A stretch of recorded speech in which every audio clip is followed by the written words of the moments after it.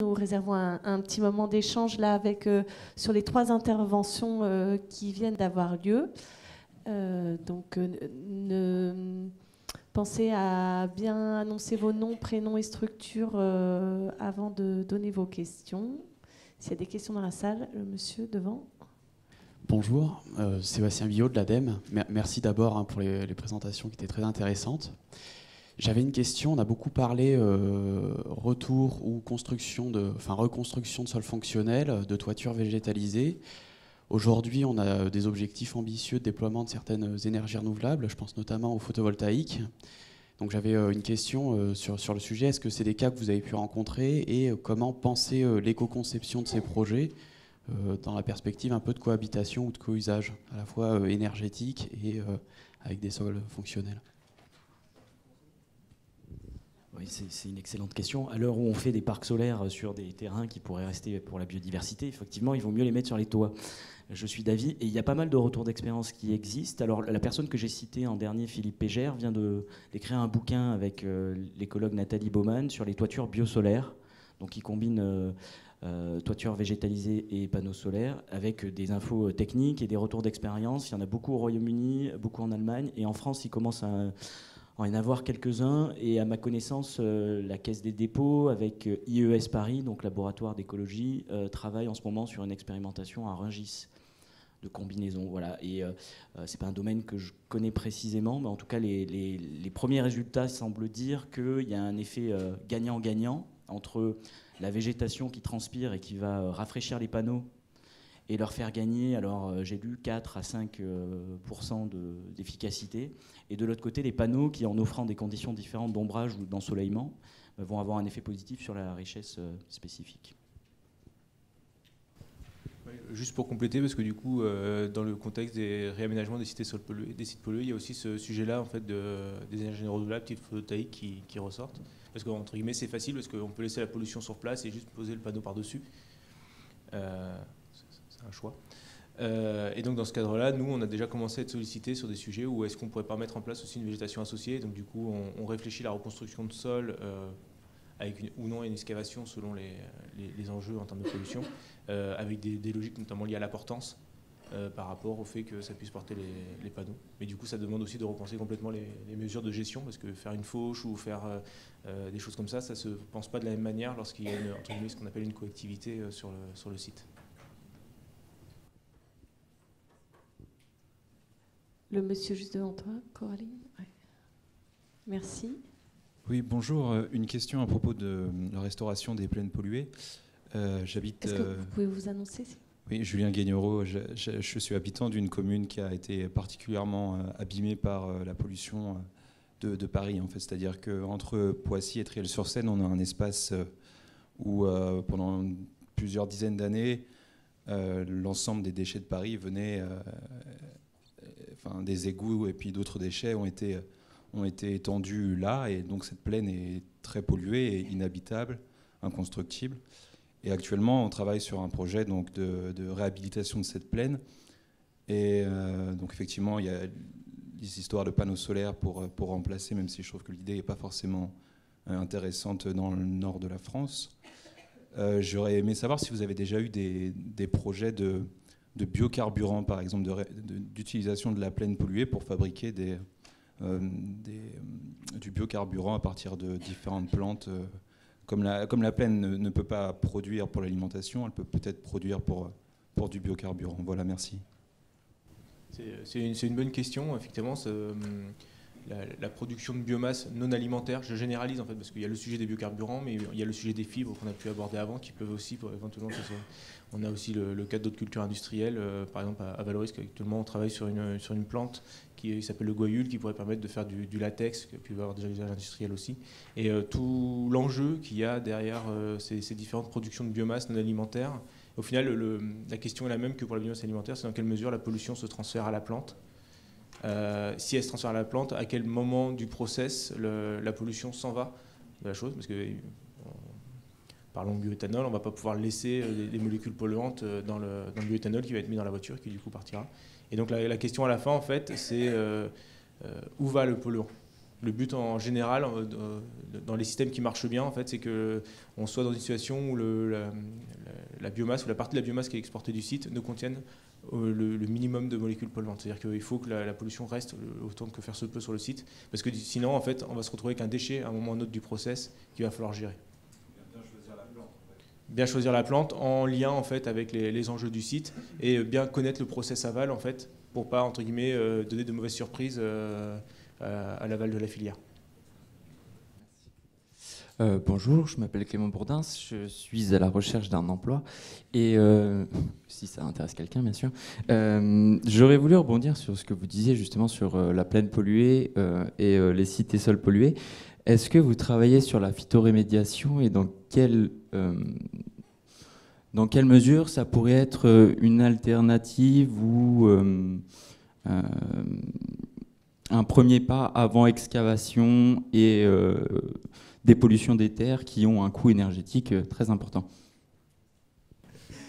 Euh, alors oui, c'est des choses qu'on a été amené à faire. Euh, je pense qu'il faut rester très très prudent sur le terme de phytoremédiation. Pardon.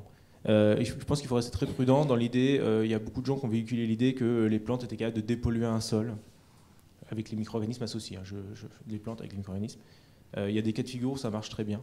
Euh, notamment sur des pollutions euh, plutôt aux hydrocarbures, des choses comme ça, où du coup il y a des micro-organismes, en fait, parce que c'est plus le micro-organisme que la plante en tant que telle qui a l'activité en question, qui va dégrader euh, les, chaînes carbonées ou les cycles aromatiques, et qui donc du coup vont permettre de transformer une molécule polluante en un certain nombre de molécules qui sont non polluantes. Lorsqu'on parle des métaux lourds, le sujet est complètement différent, dans le sens où le métal étant un atome, la, la, seule manière d'exporter l'atome du site, ça va être ce qu'on appelle la phytoextraction, mais qui a c'est plutôt sur ce cas-là qui vous intéresse Oui, d'accord. Bah, je vais insister sur celui-ci alors. Euh, la phytoextraction, ça, donc, ça suppose d'avoir une plante qui va, elle, du coup, accumuler euh, l'atome problématique dans euh, ses parties aériennes, si possible. Ensuite, on va couper ces parties aériennes-là pour exporter. La question, c'est qu'est-ce qu'on en fait après? Voilà, parce que du coup, parlons du plomb par exemple, une fois que le plomb est dans, la feuille, oui, vous allez faucher la, la prairie par exemple, et vous allez vous retrouver avec une, matière que vous n'allez pas pouvoir utiliser facilement parce qu'il y a du plomb dedans potentiellement concentré si vous avez été bon sur le choix des espèces. Donc du coup, il reste cette question-là.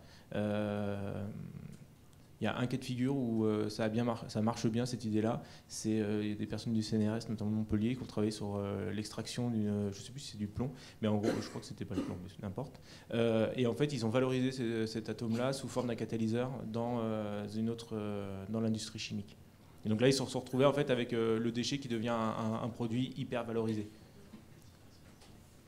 Je ne crois pas que ce soit le plomb, je ne sais plus lequel c'est. N'importe, le, voilà, disons que le sujet euh, pourrait être valable. Mais euh, déjà c'est des cas de figure assez rares parce qu'il faut arriver à euh, avoir un process parce qu'il y a quand même un process. Hein, c'est pas juste la feuille qu'on va mettre dans le le catalyseur du, chimiste. Donc il y, a des enjeux de ce point de vue-là. C'est là où il y a une création de valeur. Par contre, de l'autre côté, est-ce qu'on arrive vraiment à abaisser les seuils de pollution sur le site? Ça va pas si vite que ça. Voilà, c'est l'abattement de seuil, on, on parle d'abattement de seuil, j'aurais plutôt à le voir pour des situations, on est déjà sur des situations où la pollution est relativement faible et on se donne le temps d'abattre les seuils avec des, euh, procédés où on exporte le, polluant. J'ai du mal à voir le cas de figure, on est sur un sol très pollué qui souvent est peu favorable à la végétation. Et on a vraiment arrivé à faire descendre très fortement les feuilles pour ensuite pouvoir les emmener dans des, euh, filières euh, type ISD et compagnie avec des seuils d'acceptation plus simples. Est-ce que j'ai répondu à votre question? Bon, bah merci. Peut-être juste avant de, laisser la parole pour une autre question, euh, je pense que cette question de la dépollution euh, sera euh, probablement abordée lors de la journée d'échange technique qu'on organisera l'année prochaine sur des artificialisations. Ce ne sera pas le cœur du sujet, mais enfin, ça, en sera une partie. Je pense qu'on creusera aussi cet aspect-là des choses. Une autre question oui, bonjour. Alors, Marie-Honore Petit, Bureau d'études éco-stratégie. Alors, ça rejoint un peu sur les questions qui viennent juste d'être posées, mais c'est plus au niveau euh, du choix des plantes. Euh, j'ai euh, travaillé donc, dans ces thématiques-là sur tout ce qui est revégétalisation des espaces où il y avait une pollution. Alors, moi, c'était plus une question sur le choix des plantes, mais aussi le transfert au réseau trophique. Parce que c'est vrai qu'il y a une concentration avec les plantes, même si c'est minime et qu'on ne parle pas de phytoextraction, etc. Mais est-ce que vous avez déjà travaillé, parce que on travaille beaucoup dans la recherche sur ces thématiques-là. On étudie les plantes au cas par cas sur un sol bien type dans des conditions bien spécifiques. Est-ce que vous, vous avez déjà travaillé donc directement sur cette interrogation de concentration et de transfert ozotrophique et sur le choix des plantes qui pourraient le moins stocker de polluants? Euh, alors, pour une réponse directe, non, on n'a pas travaillé sur le, sur le transfert au réseau trophique. Je sais qu'il y a des travaux de recherche qui se font dessus et je pense que c'est très important de, travailler dessus parce que du coup, on, parle souvent du, euh, transfert de polluants via euh, les nappes phréatiques ou via l'envol de poussière, mais effectivement, les êtres vivants peuvent être aussi une source de transfert de pollution. Nous, jusqu'à maintenant, alors déjà, souvent la logique sur la sélection des espèces, c'est une sélection des c'est une sélection d'espèces souvent qui sont proches du site parce que c'est souvent des espèces particulières qui, sont, qui se sont déjà adaptées avec le temps euh, à ces sols très pollués hein, lorsqu'on parle de pollution forte. Euh, et nous, on a jusqu'à maintenant plutôt travaillé sur la, question du transfert du polluant dans euh, la filière de valorisation lorsqu'on était sur des biomasses non alimentaires. Je sais qu'il y a trop de recherches dessus, mais nous, on n'a jamais été confrontés à ce cas-là de manière directe, à la fois par rapport au contexte du site et le choix des espèces, ni dans les démarches de suivi. Mais peut-être que Marc va non, en fait, je pense que je suis à côté de la question, mais les travaux que j'ai vus, c'est plutôt en lien avec l'agriculture urbaine aussi, mais qui nous sont souvent posés, en fait, euh, et des transferts de polluants vers les aliments, etc. Il y a, eu, euh, commence à y avoir pas mal de travaux de recherche, notamment dans le nord de la France, avec l'université d'Artois, où ils ont euh, plus d'une centaine de jardins ont été passés en analyse à la fois des sols et des légumes, et ils, ont, ils sont capables de, classer du coup la capacité d'accumulation de, des métaux lourds notamment hydrocarbures des, légumes euh, pour faire des choix de, consommation derrière. Enfin, ils montrent que les aromatiques stockent énormément et puis euh, d'autres légumes stockent beaucoup moins. Et du coup, ça permet aux collectivités de, faire des préconisations. Et c'est le cas de la ville de Montreuil en Ile-de-France qui, qui hérite de beaucoup de sols pollués mais qu'il y a beaucoup d'agriculture urbaine et de jardins partagés. Et du coup, ils ont fait un arrêté municipal avec des listes d'espèces conseillées ou déconseillées euh, dans le choix des aménagements. Et du coup, ça, marche bien. Quoi. Ça veut dire qu'on peut quand même euh, planter euh, sur les sols pollués et consommer. Voilà, c'est peut-être une partie de la réponse. Mais peut-être que justement, ça renvoie à la question, c'est peut-être moins à l'espèce, mais à la partie de la, de la, plante aussi qui va stocker le polluant. Parce que par rapport à l'étude que tu disais sur euh, les plantes alimentaires, c'est aussi en fonction de, la partie qui va être consommée. Donc c'est aussi peut-être euh, une approche euh, à creuser dans les projets de recherche et qui est sûrement déjà faite. Alors, comme je vois pas de bras qui... Ah bah si, Pascal, pardon, je n'avais pas vu. Excuse-moi.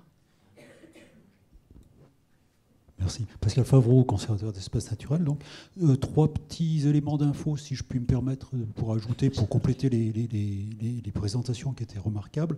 Euh, la première sur la, reconstitution d'un sol, euh, expérience sur, dans le secteur de Lyon entre la société Vica, le cimentier, qui a travaillé avec l'école d'ingénieurs agronome Lizara euh, sur la recréation, je parle bien de recréation, ça n'existait pas au départ, d'un sol euh, agricole.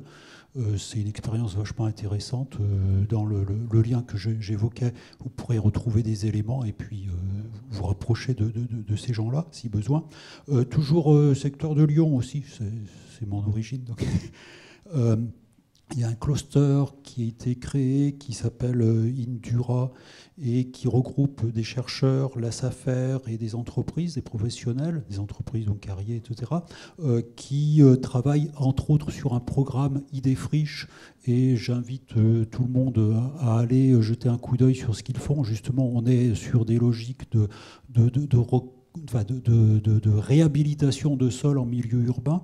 Et puis la troisième chose, et avec un petit clin d'œil à l'AFP, euh, nous sommes en train de, construire un, un, film sur la biodiversité à l'intérieur du sol. Et euh, je remercie l'AFP qui est... Euh, euh, financeur de, de, ce projet. Nous, c'est le Conservatoire d'espace naturel avec un petit groupe de travail des cinéastes, etc., qui devrait sortir durant l'année prochaine et qui essaye de mettre en, relation à la fois ce qui se passe au niveau des colamboles, etc., le terme a été cité tout à l'heure, et les pratiques agricoles ou de jardiniers.